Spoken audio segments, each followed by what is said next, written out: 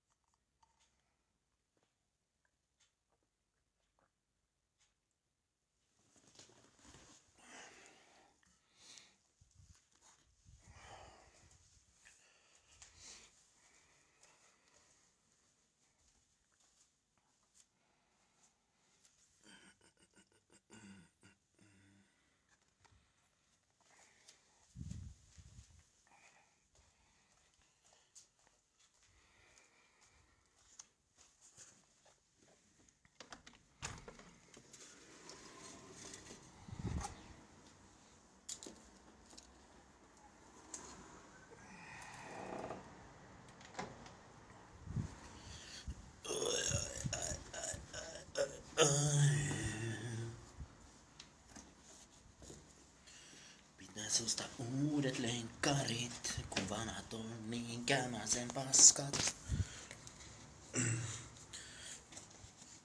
Joo.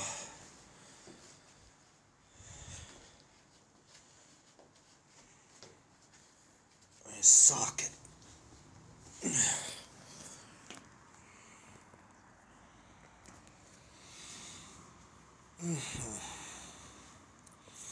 Pitäis käydä kirjastossa tänään, kun oli tullut povauskirja sinne, minkä, mistä puhuinkin teille tuossa aikaisemmin. Miksi mulla on otsikoitu tää liveet kysy niin vastaan, niin mä ajattelin, että mulle voisi heittää välillä vähän jotain kyssäreitä, että pitäisi semmoisen kunnon kyssäri liven, vähän niinku Q&A. Eli mä en, mä en itse rupea tässä monologisesti niinku höpöttelee yhtään mitään omia storeja nyt vaan. Taisi lähinnä se, että te katsojat saatte kysyä mut mitä te haluatte ja mä vastailen.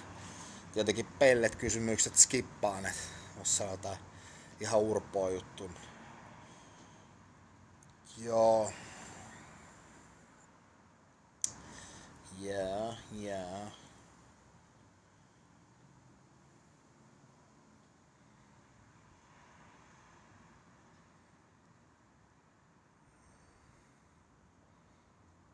Joko oot laittanut testiin sen? Ei. Menee rahat nyt vähän kaikkeen muuhun kuin johonkin lisäravinnejuttuihin. On rahoille vähän parempaakin tekemistä tällä, tar- ja tarkoitus tällä hetkellä.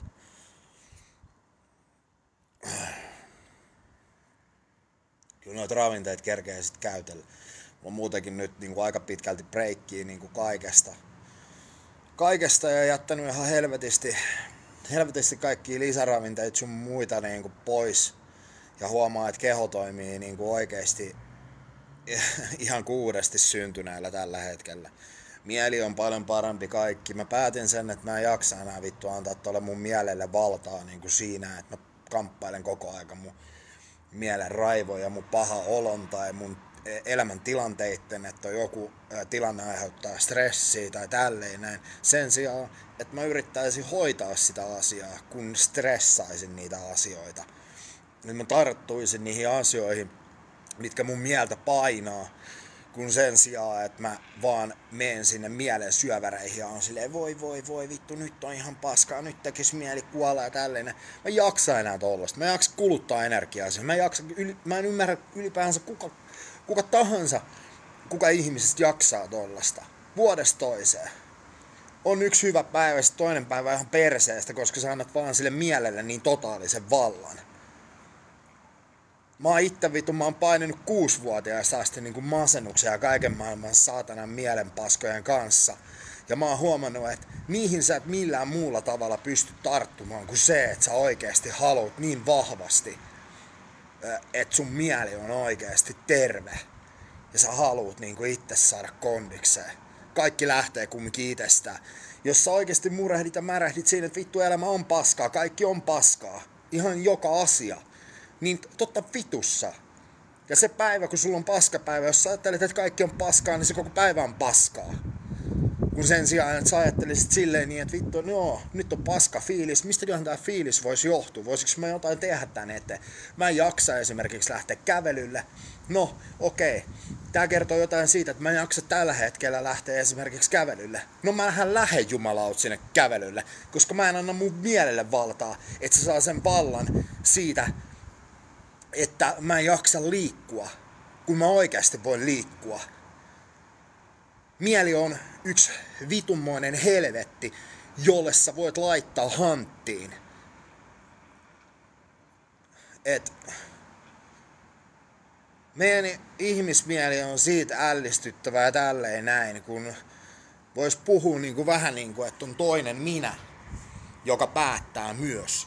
Eli jos sulle sanoo yksi minä sanoo sulle, että joo, että nyt sulla on huono olla, sulla on paha olla, älä tee mitään, vaan lepää. No, se on totuttu. Sä totut siihen. Sä rupeat lepää. Sä rupeat joka kerta tekemään sitä, kun sulla on paska olo, että sä lepää. Että sä menet sinne unimaailmaan. Sä vaivut sinne niin. Sä haet sieltä sitä hyvää oloa. Ja sitten kun sä herät sieltä, niin sä herät taas siihen todelliseen helvettiin ja siihen kaikkeen paskaa oloa. Onko siinä mitään järkeä? Sen sijaan, että sä pistät hanttiin ja oot silleen niin, että hei jumalauta mene nukkumaan. Mä en jaksa nyt tällä hetkellä syödä. No ehkä mä syönkin, vaikka mulle ei maistu ruoka. Mä en jaksa mennä kävelylle. Ehkä mä meenkin kävelylle, vaikka mä en jaksais, mutta mä menen.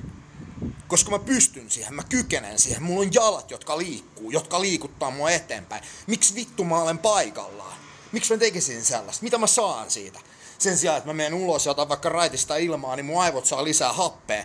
Ja mä energisoidun ja mulle tulee parempi fiilis. That's fucking true.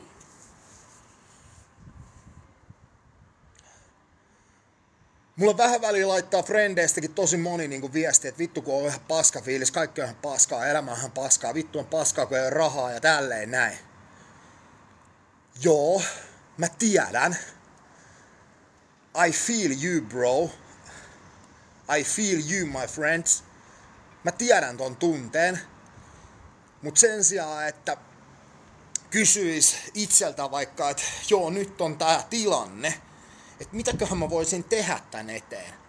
Ja usein yleensä se sun pää antaa sulle jonkun yhden ajatuksen. Esimerkiksi, että sulla on nyt vaikka, että sulla on vaikka vitun vähän rahaa. Sitten sä oot silleen niin, että mitäköhän mun pitäisi tehdä, että mulla olisi enemmän rahaa. Niin sulle saattaa alitajunta, tai sun mieli saattaa sulle yhtäkkiä sykäyttää sulle jonkun asian, niin kuin, mistä sulle tulee se niin kuin semmonen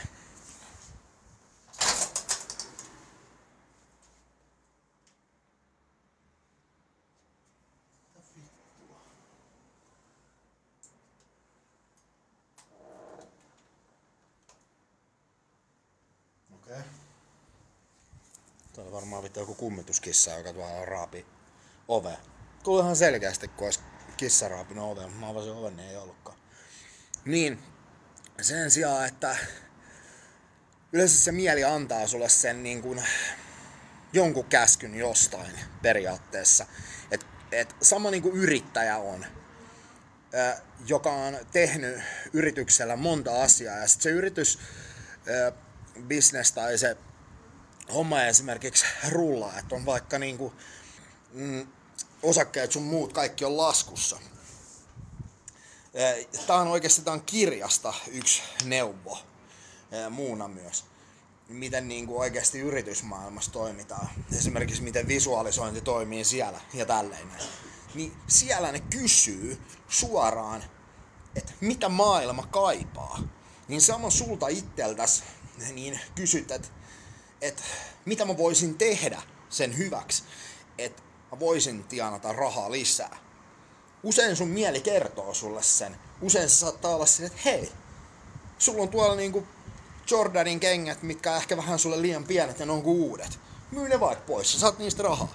Myy jollain tietyllä summalla, silleen, että sä uskot, että ne menee.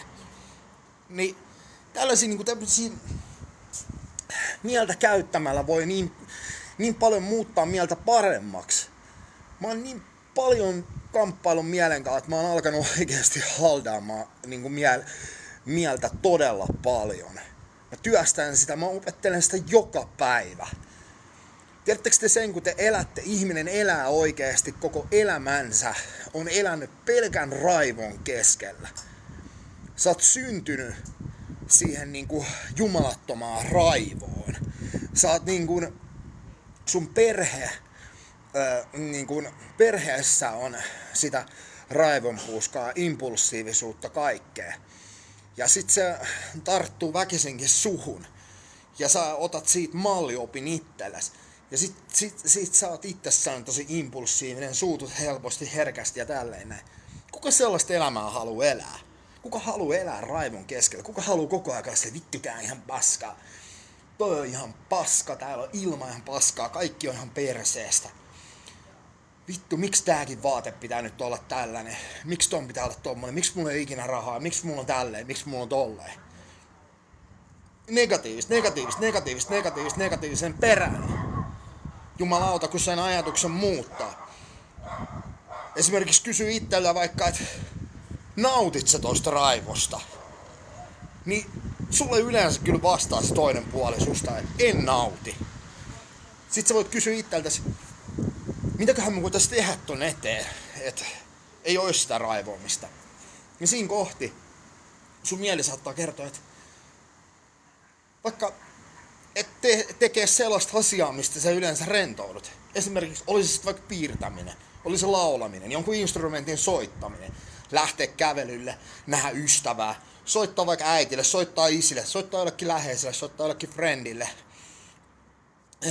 käydä vaikka jossain kahvilassa juomassa, juomassa niinku oikeasti elämäänsä lemppari kahvi, mistä on aina tykännyt. Tekoja. Kyllä. Joo.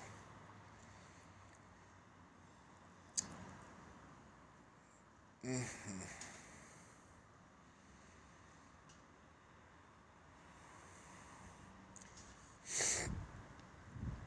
Piti jotain, jotain niinku sanokin. Oli joku, joku niinku asia, mistä mun piti puhua. Mutta sitten mä ajattelin, että no en mä ehkä, en mä ehkä, että mä annan teidän kysyä multa kysymyksiä tälleen näin. Mutta nyt mentiin tähän mieleen syö, syöväri asiaa, kun tuli tosta vaan.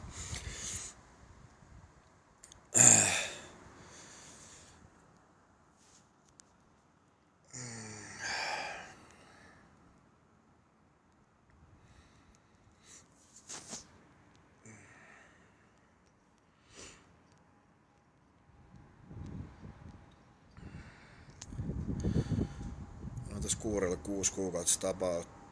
Ja sitten kävin tuossa vähän aikaa sit mittaa testot, niin oli 11 arvot. Onko alhaiset? No ei ne nyt ihan normaalit kyllä ole. Että kaksi vuotta treeni kokemus vaihtelevasti jäänyt salilla, niin olisiko jotain hyviä liikkeitä, millä jatkaisi, mutta tuohon vaikuttaa kaikki sosiaaliset suhteet ja paljon niitä on No mä enää hirveästi niinku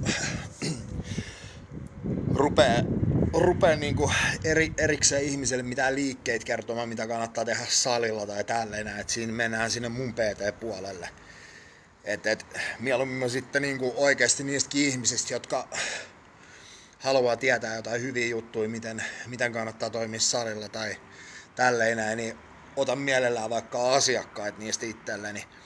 Koska se on usein se sitten, että kun sä rupeat jotain PT-juttuja hirveästi latelee sosiaalisessa mediassa, niin tota, siinä vaan menettää niitä asiakkaita.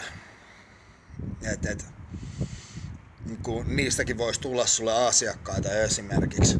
Mä saatan välillä jotain liiketipsejä ehkä jossain liveissä antaa, kun joku kysyy, mutta en mä nyt rupea erikseen mitään liikkeitä latelee tässä näin, että mitä liikkeitä kannattaa tehdä. Sitten se kannattaa, että jos, jos oma mieli sanoo, että ei tarvitse PT esimerkiksi, niin sitten kannattaa vain netti, nettiä käyttää. Niin mäkin käytin vuosia YouTubea ja sun muuta. Ei mulla ikinä itse asiassa, mulla ei koskaan ollut valmentajaa, koska en mä nähnyt sitä tarpeelliseksi. Mä oon tosi kurjalainen sit kun mä oikeasti lähden jollekin dietille sun muulle. Ja mä osaan rakentaa omat treeniohjelmani ja hyödynnän monia ammattikehonrakentajia katsomalla niitä jotain vanhoja videoita ja siitä rakennan sitä omia. Jos joku miettii, että miksi mun ääni väpättää ja tälleen näin, niin voi sanoa, että on vittu oikeasti kylmä. mä en tiedä, miksi mä tulin tähän parvekkeelle ilman rotsiin. Ehkä sen takia, että mun aivot oikeasti niin saa energiaa ja aukeaa tässä kunnolla. En nyt tietenkin lippiksen läpi saa samalla tavalla, mutta keho saa pientä semmoista kylmä vivahde ärsykettä. Mieli ainakin avartui vielä entisestään tässä näin. Et ei siinä niinku, että Ootko antanut nämä ohjeet myös sille L. Odinille? Auttoiko tai saitteko edes keskusteltua näistä? L. Odiniin mä oon auttanut tosi paljon. Mä oon sen kanssa puhunut aihealueesta, niin oikeasti aiheista. Mielen, mieleen liittyvistä on jakanut sille omiakin jotain tällaisia tipsivideoita ja tälleen näin. Ja on, on niin yrittänyt jeesaa. Ja mä oon yrittänyt saada sitä, että voitaisiin tehdä kimpas noita live-juttuja. Mutta tota niin, ei Odinista, Odinista on nyt vähän aikaa kuulunut. Et, tota niin, et mä katsoin yksi ilta, kun se oli jossain yölivessä, niin katsoin hetken aikaa. Et, et, sekin on se, että jos sulla on joku ihminen, jolta sä saatat... Mä oon sellainen ihminen, että mä haluan auttaa kaikkia.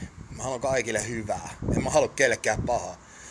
Jos joku haluaa mulle pahaa, niin se on sen ongelma, sen häpeä, mutta en mä halua kellekään pahaa. En mä halua edes pahoillekaan pahaa kirjaimellisesti, koska pahastakin voi tulla hyvä. Et, et, mä yritän avoimin mielin ajatella kaikista positiivisesti. Tota, niin, se, että sit jos joku voi huonosti ja mä annan sille tipsejä ja neuvoja, miten lähtee niin kuin oikeasti parantaa sitä elämänlaatua ja sitä, oikeasti sitä ajatuksen laatua, kun kamppailee mielensä kanssa, niin jos sitä ei ota niin kuin itse vastaan, niin se ei sitten enää ole siinä kohti niin kuin mun, mun tehtävää. Että mä oon tehnyt oman, oman osani jo. Ja jos toinen ei ole vastaanottavalla tuulella, niin se kumminkin tiedostaa sen niin kuin ihminen kuin ihminen, joka kamppailee mielen kanssa niin kyllä mulla on tosi moni ihminen, jolla mä oon tarjonnut apua.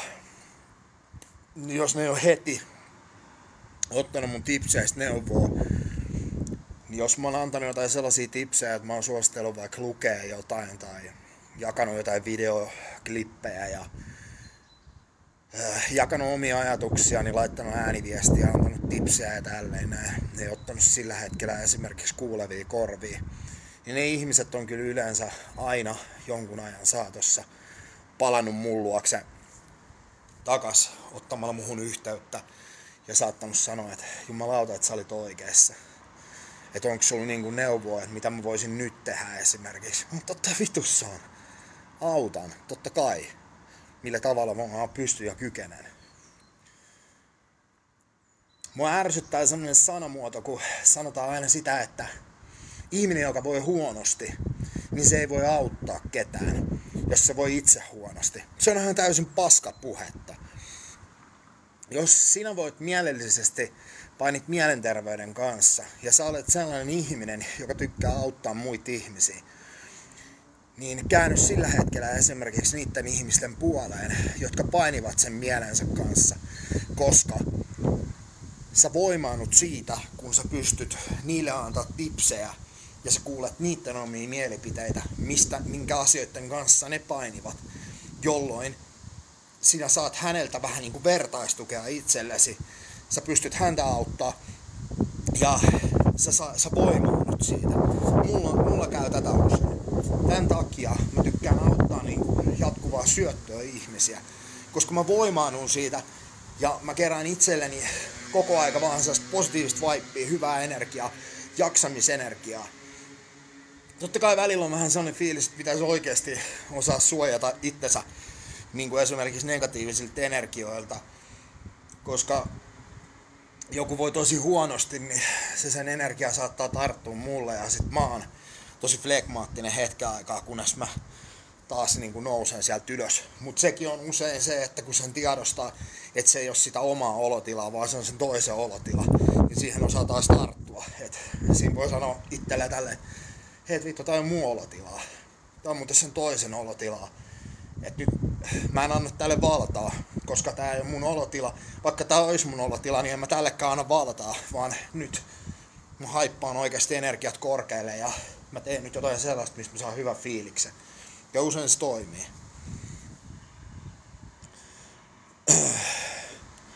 Minkä takia elokuvissa kaikkien podareiden roolihahmot on sellaisia tyhmiä lihapäitä automaattisesti? No tästä mä oon kanssa puhunut. Mä otin tän yhdessä live-lähetyksessä esille. Ja mä itse asiassa TikTokkiin tein yhden sellaisen videonkin, mitä mä en sitten kehdannut julkaista, koska siinä oli niin järkyttävää kielenkäyttöä. Ja se olisi antanut musta puheellisesti leimannut vitu pelle ihmisen, niin mä en nähnyt syytä jakaa sitä. Mä aloin sen ja mä piilotin sen saman tien. Ja mä puhuin siinä yleisesti, että minkä takia tämä Suomen maa ylipäänsä, tai ylipäänsä leffamaailmassa pitää olla aina se, että lihaksikkaat leimataan tyhmiksi tai niille annetaan rooleja, että ne on joku idiootti järjestyksenvalvoja tai joku idiootti turvahenkilö tai joku järkälle ritari tai joku muu, mille on mitään aivokapasiteettia. En tiedä, toi on tosi typerää. Mä oon sanonut tosi monelle, että kun mä ohjaisin elokuvan, niin mä ottaisin sinne kaikki niin oikeasti kunnon lihapäät ja vitsi näyttäisi oikeasti kansalle, että miten oikeasti lihapäät on fiksuja. Koska suuri osa meistä niin, kuin niin sanotusti näin äh, rumalla kielellä sanottuna meistä lihapäistä, suurin osa on helvetin lahjakkaita ja helvetinmoisia talentteja. Meillä on kykyjä moneen. Me, meistä suurin osa osaa piirtää tosi hyvin, osaa laulaa, osaa jopa soittaa instrumentteja, on tosi taiteellisia persoonia. Ja tälleen näin. Et, et, ja ne on yleensä niitä asioita, mitä tekee siinä sivussa sen kehonrakennuksen tai podaamisen saralla jolla, joista hakee sit sitä muuta semmoista hyvää oloa. Alfa Möykky, no kiitos. Stressin hallinta on moniulotteinen asia, mitä enemmän taistelet vastaan, niin saattaa olla heittäisi mensaali äkkeen. Jep. Kummitteleeko siellä? En mä tiedä, en mä tiedä mitä tossa tapahtui. Kaksi kertaa Siis kissa tekee yleensä tota ääntä, tota nakutusta, ja ei meille ikinä niinku kuulu edes tonne niinku sisälle, jos tuulee kovaa, niin ei kuulu mitään semmoista nakutuksen ääntä tosta ovesta tai mistään, niin en tiedä mikä toi oli.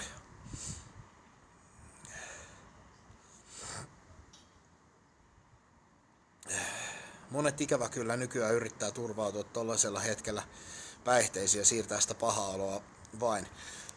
Joo, itsekin tein tota oikeasti niin kuin monesti silloin, kun oli huono olo, niin aina kun joku viikonloppu koitti, niin tuntui, että oli pakko lähteä pämppäämään tai tälleen näin. Ja nyt on sen pämppäämisenkin jättänyt, niin kuin, että mietin sitä, että miten mä pystyin esimerkiksi tästä vuosia takaperin mä pystyin olla kaksi vuotta silleen, että mä en juhlinut ollenkaan. Että miten mä pystyin siihen mä kamppailin jo mielen kanssa, mutta kyllä mä pääsin niistä päivistä yli joka kerta. Ja mä yritin löytää sen suuren suurimman mielen voimavaran, jolloin mulla olisi äh, joka päivä niin kuin parempi päivä. Että mä keksisin aina jonkun ratkaisun sille huonolle ololle, jos semmonen tahtoisi tulla. Et, mut joo, Koska te Estonkaan podcasti. Timo kysyi mua eilen yhteispodiin, missä oli totani Allani, mutta tota, mä en, mä en totani eilen halunnut, halunnut mennä äh, podcastiin, että mä skippasin, skippasin totani sen, että ei, ei ole tällä hetkellä oikein, oikein semmonen ryhmäkeskustelu fiilis, että jaksaisi jaksais totani isommalla porukalla höpistää. Et enemmän niinku just podcasti jos ottaa, niin otan mieluummin kahden kesken tai sitten vedän yksi höpinöintiin, että on ihan sama ketä frendi mulla on, on niin kuin esimerkiksi vaikka omassa podcastissa haastattelussa, niin mieluummin tällä hetkellä yksi ihminen kuin useampi ihminen, että ei jotenkin niin kuin yrittää saada päätä koko aika kondikseen tässä näin, parempaa päin ja tälleen näin. Et eilen meinas taas mieli ottaa valtaa jonkun verran, mutta laitoin, ossa se onneksi laittaa hantti ja sain sen fiiliksen niin kohille ja takaisin.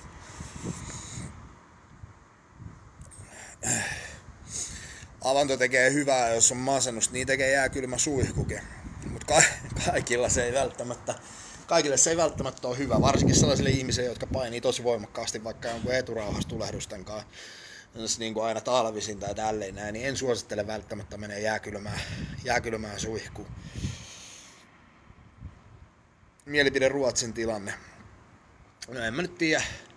Ei tämä Suomenkaan tilanne nyt yhtään se parempi ole. Että täällä nyt osataan aika hyvin peitellä kaikkea tuon kallosta, mitä ehkä Ruotsissa tapahtuu.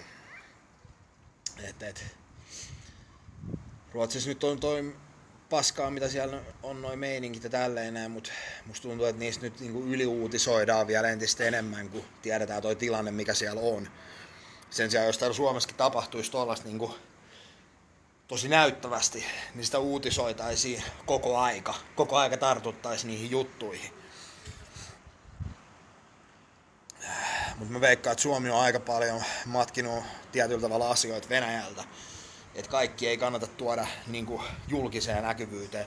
Ehkä voi tehdä jonkun uutis, uutistekstin, mutta se, että jotain videomatskua tai jotain tällaista, niin en tiedä. En enää tiedä. Ottako Boori tai Saha Palmun siemenet Natikan testojen nousu? No kyllä Boori voi vähän jeesaa siihen. Et, et. Mutta en mä tiedä nyt, että jeesaksi siihen testojen nousuun. Kyllä mä sanoin, että Männyn siitä paljon on luontaisista kaikkein voimakkain testojen nostottaja. Kyllä mä sanoin, että se on, niinku, se on ihan fakta. Että yksi, yhdelle kaverille tuli, kun se käytti vähän tota Männyn siitä paljon vähän isommalla kädellä, vetiköhän se pari ruokalusikallista päivässä, mikä ei todellakaan ole Männyn siitä pölyn käytölle suotavaa, koska siinä on aivan jumalaton määrä vitamiineja ja kaikkea sisältääkö männyn siitä paljon 250 eri vitamiinia. Plus siinä oli, muistaakseni, mä en muista sisälskö se, sisälskö se 15 aminohappoakin, jos mä en väärin muista. Niin en suosittele vetämään kahta ruokalusikallista, mitä männyn siitä ensinnäkin, jos sulla on siitepölyallergia, altistusta, eli sä oot tosi herkästi allergisoiva asioille, niin jos sä aloitat männyn siitepölyn lisäravinteena, niin aloita se puolella teelusikalla. Jopa ehkä yhdellä, yhdellä tota niin, pikkurillin kynnen palasella nokareella, niin on ehkä hyvä jopa aloittaa. Koska se on tosi allergisoiva. Sitten kun keho alkaa tottua, sä oot syönyt sitä vaikka tuon pikkurillin kynnen kokoisen nokareen tai teelusikallisen, puol, puolen teelusikallisen vaikka viikon ajan, niin sitten voit nostattaa sen yhteen ja vedät sitä viikon kaksi, millaista fiilikset. Ja jos niin kuin, happi on ok, kaikki, ettei mitään hengitysvaikeuksia, niin sitten voit nostattaa. Että semmonen kaksi teelusikallista päivässä, kolme teelusikallista korkeintaan, sitten kun keho, keho on niin kuin, totuttanut siihen, niin on sellainen ihan suotava. Mutta se, että mä sanoin, että sitä lähtee vetää kaksin käsin, niin se piikkaa tosi voimakkaasti testoja ja sitten siinä saattaa käydä se niin kuin mun yhdelle kaverille kävi, että silloin alkoi puskea kynostane ja männyn siitä pölyllä. Ja ei käyttänyt mitään, ei ollut mitään hormonitaustaa tai tälleen näin ollenkaan kyseiselle kaverille, ihan naatikka kaveri ja veti, veti männyn siitä pölyä. Sitten muistaakseni, mä en muista heittikö se mulle sitten sen lopun siitä männyn siitä pölystä, kun ei pystynyt itse käyttämään ja kyseli neuvoja, että millä voisi saada alkavat kynot veke. Mikä sun kanta tähän maailman sotimiseen on? Onhan tämä nyt ihan perseestä vittu. Mä en ymmärrä ylipäänsä koko sotimista, että miksi pitää sotia. Miksi pitää olla niin vitun raivoa? Miksi pitää niinku... Mitä kikseä siitä saa? Miksei vaan niinku ihmiset voi elää sovussa ja kaikilla olisi hyvä olla ja tälleen näin. Et, et niinku... En, en niinku ymmärrä perseestä. Lapsena sitä ei tajunnut sitä sotimista, sitä vaan jollain tavalla mietti, mutta nyt niin kuin aikuisena sitä miettii silleen, että mitä vitun kiksejä ihmiset saa. Ja sitten ne sotilaat, jotka lähtee sinne sotimaan. Jotkut lähtee sinne niin kuin oikeasti. Siellä saattaa olla jotain semmoisia entisiä vitu sekopäitäkin tyyli, mitkä on vaikka joku tyyppi vaikka saattanut istua linnassa ja sit se on oikeasti niin kuin tehnyt duunia ja ää, tälleen näin ja parantanut käytöstapoja. Ja sit, sit se saattaakin päästä jonnekin tuollaiseen sotimaan. Pääsee oikein purkaamaan vittu vuosien raivot sun muut ja on ihan kikseis, kun pääsee ampuu ihmisiin. Niin en vittu mä en taju. En taju.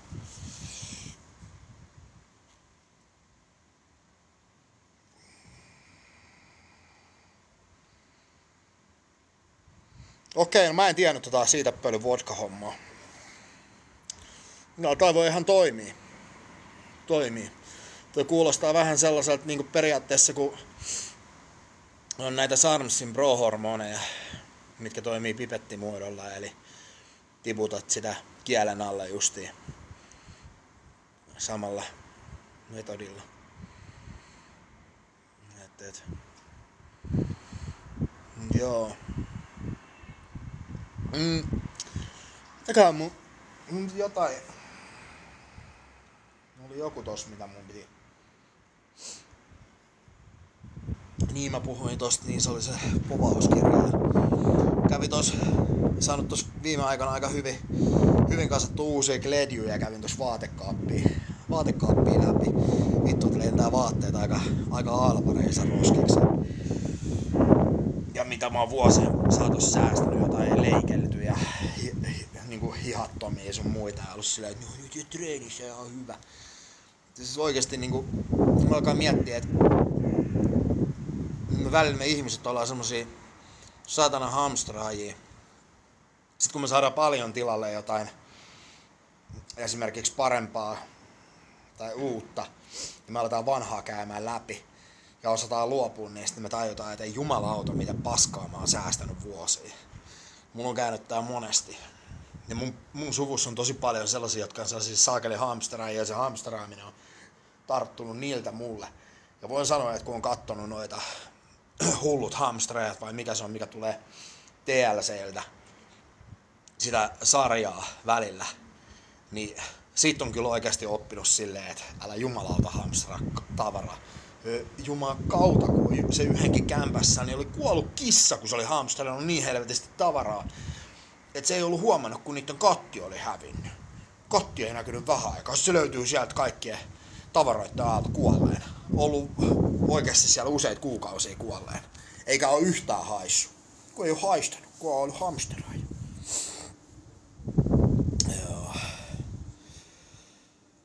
Tuleeko maa, kolmas maailmansota? No mehän käydään tällä hetkellä sitä koko aika. Tää on jo.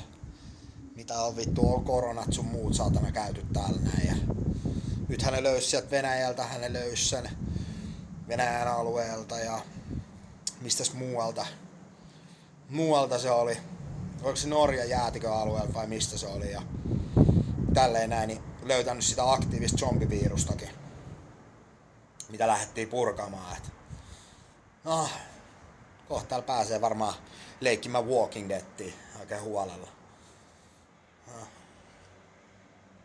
Se sitten vasta elämää onkin. Sitten on ainakin tekemisen meininki, ei tarvii miettiä ollenkaan. En vittu ainakaan rupea miettimään tai pelkäämään mitään.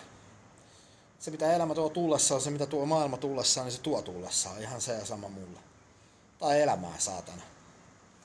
Miten sitä rupeaa märehtiä ja murehtia. Sama niin kuin mulla on ollut, kun mulla on, mulla on skidillä meidän tapahtuu, on niin kuin tapahtunut sellainen tilanne, että mut on periaatteessa yritetty niin kuin kirjaimellisesti hukuttaa. Ja sitten tota niin, niin, niin on käynyt tollasia, mä en muista käviks mulla joku toinenkin samankaltainen tilanne. Ja sitten sen jälkeen tuli jotenkin vesipaniikki ja meinannut tota, niin, niin siinä hukkuu. Niin se mä aloin miettiä, mä katsoin tuossa yksi päivä yhtä leffaa ja, ja tosi paljon sitä vettä siinä elokuvassa. Ja... Sitten mä mietin, että mitä vittu mä pelkään vedessä. Siis kun mä oon ihan helvetin hyvä edelleen, vaikka mulla on jonkun verran sitä niinku uimis, uimisessa sitä niinku pelkoa tuolta kaikesta vanhasta. Niin, mutta kumminkin sukeltaminen natsaa ihan helvetin hyvin. Pystyy menemään ihan sikasyvää kohtaa ja sukeltaa pitkiä matkoja. Mä olen miettinyt, että mitä vittu mä siinä uimisessa pelkään. Saatana, en, en jaksa enää sitäkään pelkää. Irrottaudun siitä ja rupeen vaan uimaan. Pikkuhiljaa. En mä jaksa elää, elää, elää missään pelossa ja tällaisessa. Pelko on kaikkein pahin, koska se rajoittaa ihan kaikessa. Mitä tahansa sä pelkäät. Pelkäät sä ambiaisia, pelkäät sä jotain allergista tilannetta, pelkäät sä, että joku karhu käy päälle tai tälleen. Niin jos niitä tilanteita tulee, niin oikeesti joku allerginen kohtaus, niin ei sitäkään kannata niinku valmiiksi jo pelkää, että vittu jos mulla tulee allerginen kohtaus. Jos sellainen tulee, niin sellainen tulee. Sitten sulla on ne lääkkeet taskussa sun muuta, että saat hoidettua sen tilanteen. Että sä oot osannut ennakoida sen. Sama jos sulla tulee sua vastaan karhu ja haluaa hyökkää sun päälle, mitä sä siinä tilanteessa teet?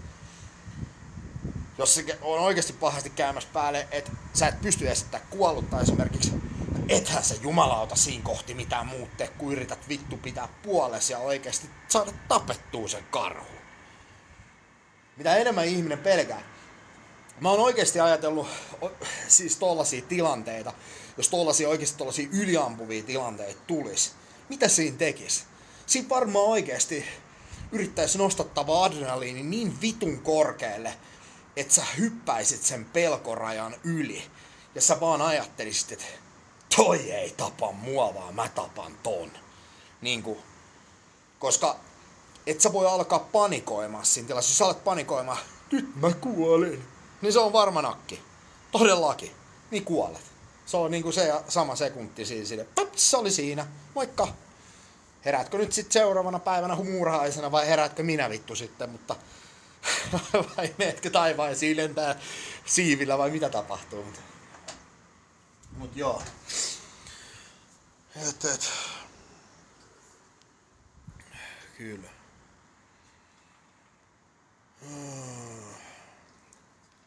Moi. Mä luulin, että sä heräsit tosi aikaisemmin. Kun toi ovi kävi kaksi kertaa. Mä luulin, että lumi raapi tota ovea, mutta ei se edes raapinut. Mä miet, joku kysyi tässä lähetyksessä, että kummitteleeko Mä sanoin, että en mä tiedä, varmaan joku kummituskissa kävi raapittu.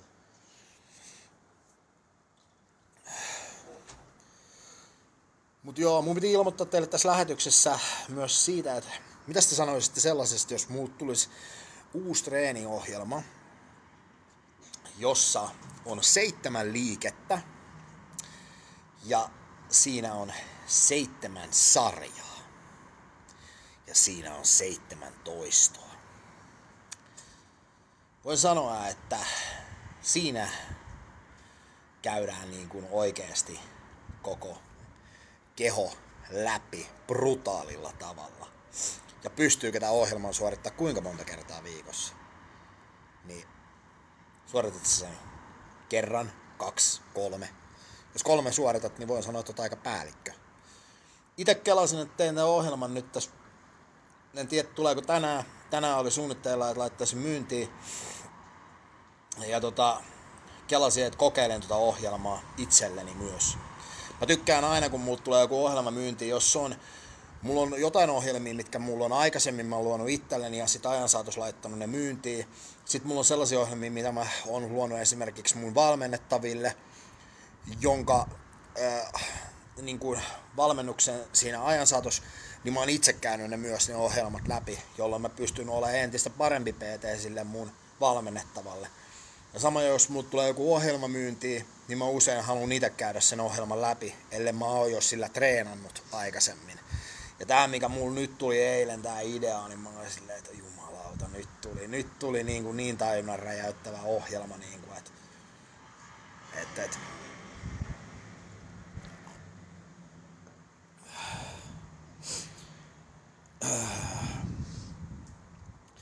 Näytä kädestä haba. Mä näytin jo lähetyksen alussa.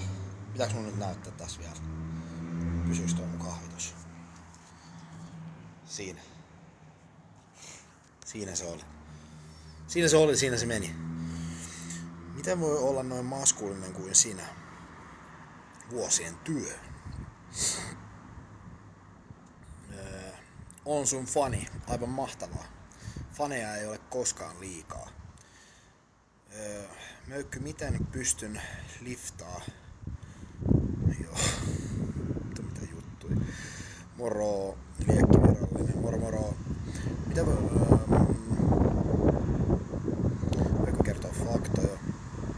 Voiko olla ilman treeniä viikon ilman syytä? Totta kai voi.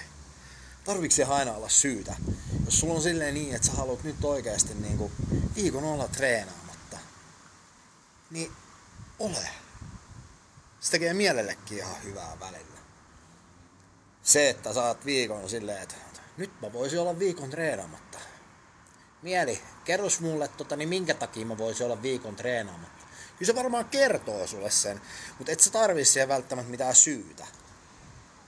Ja usein keho kertoo sen, että jos sulle tulee se fiilis, että sun tekee mieli oikeasti pitää reenilepoviikko, niin se on aika pitkälti jo keho sulle kertonut, että ehkä sä tarvit sen, jos sulle edes käy tommonen mielessä.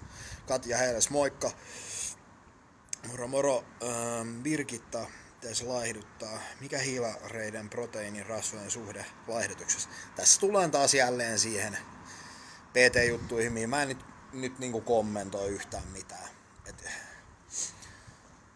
Tuostakin löytyy tietoa netistä, jos haluaa lähteä tutkimaan tai sit jos haluat niinku oikeasti haluat multa valmennusta tai tälleen, niin laita mulle viestiä tai sitten otat jotain toista kautta tai sitten tutkit ja hutkit tuolta netin, netin ihmeellisestä maailmasta. Mutta en, en, enää näihin PT-juttuihin. Mulla on monta vuotta niin kuin vastailu oikeasti näihin juttuihin. Pitäisi niin kuin oikeasti tehdä semmoinen erillinen kanava tai YouTubeen tehdä fani live-lähetys, jonne tulee ne, jotka maksaa kuukaudessa niin kuin, tota, jotain tiettyä summaa. Ja sitten jos ne haluaa niin kuin, esimerkiksi ilmaistipsejä, ää, niin kuin, tai haluaa saada niin kuin, vähän niin kuin tipsejä esimerkiksi laihdutuksia tai johonkin, niin sitten sinne lähetykseen on joku tietty summa, että maksa lähetyksen kolme euroa. Tai, tai sitten, että olisi lähetys, mitä pystyisi pyörittämään, ei tarvi olla mikään aktiivinen niin kuin tämmöinen tilaaja, vaan että se olisi sellainen lähetys, että tulee lähe, lähetykseen, niin maksa kolme euroa vaikka, niin saat ilmaisia tipsejä ja tälleen näin treenaamiseen liittyen ja tälleen.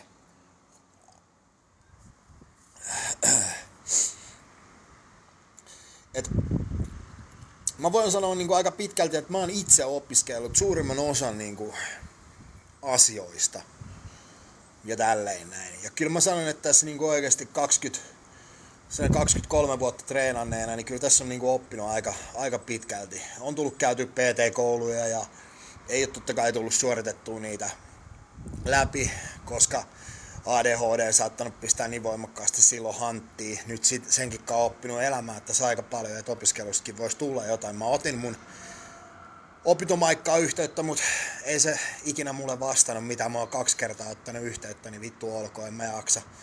Jaksa tuollaiseen ihmiseen enää kuluttaa aikaa, niin että, että tota niin,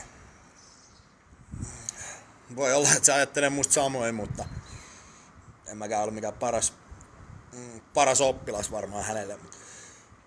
Mutta tota, niin olisin jatkanut opinnot loppuun. Sitten mä yritin Satsin kautta, hain PT, PT-kouluun, no en päässyt sinne. No, Satsi yhteydessä Eliksia, niin voi olla se syy, että minkä takia mä en päässyt, koska mä oon aikaisemmin ollut Eliksialla opiskelemassa, niin niin jos ne katsoo taas sieltä, että joo, tää on tää kaveri, joka on käyttänyt dopingia ja käyttää varmaan vieläkin ja tälleen näin, niin ei me voida ottaa sitä. Toi on aika perseestä, koska PT-piireissä tänä päivänä se on ihan vitun sama, onko se Elixian PT tai onko se minkä tahansa kunto, kunto tota, niin, firman PT, niin siellä on suurin osa käyttää hormoneja. Jos siellä ei mene mitään anabolisia steroideita, niin aika vakkari käytössä on ainakin testosteroni. Ja se on aika yleisessä käytössä tänä päivänä myös naisilla. Et jos siitä lähdetään. Tai sitten jos niille ei ole testokäytössä, niin sitten siellä on yleensä joku rasvanpolttajana, joku klemputerolli tai joku muu vastaava. Et harvemmin siellä on PT-piireissä ihan kaikki niitä naturaaleja. Että kyllä sinne mahtuu sinne joukkoon niitä niinku käyttäjiäkin.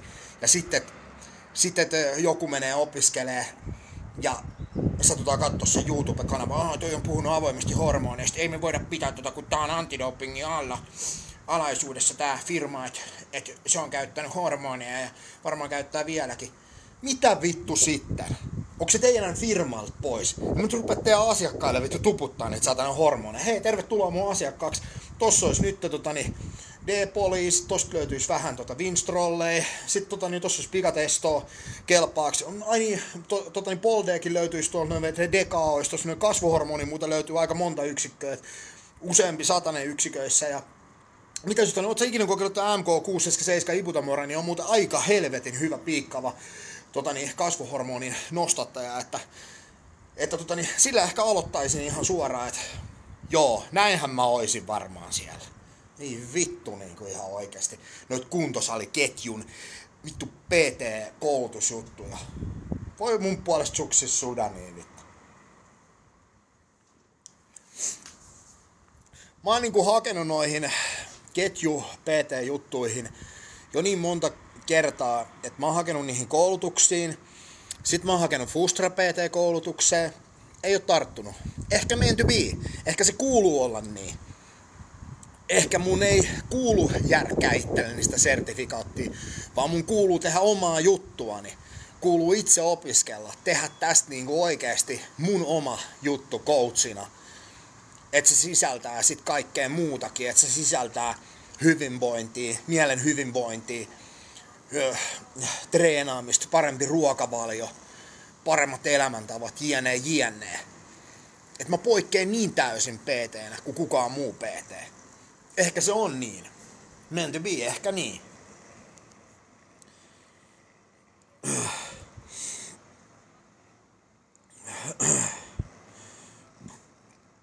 Onko Teston kanssa tullut tehty jakso? Ei oo. Testo kysyi eilen mua, mutta mä en eilen halunnut mennä.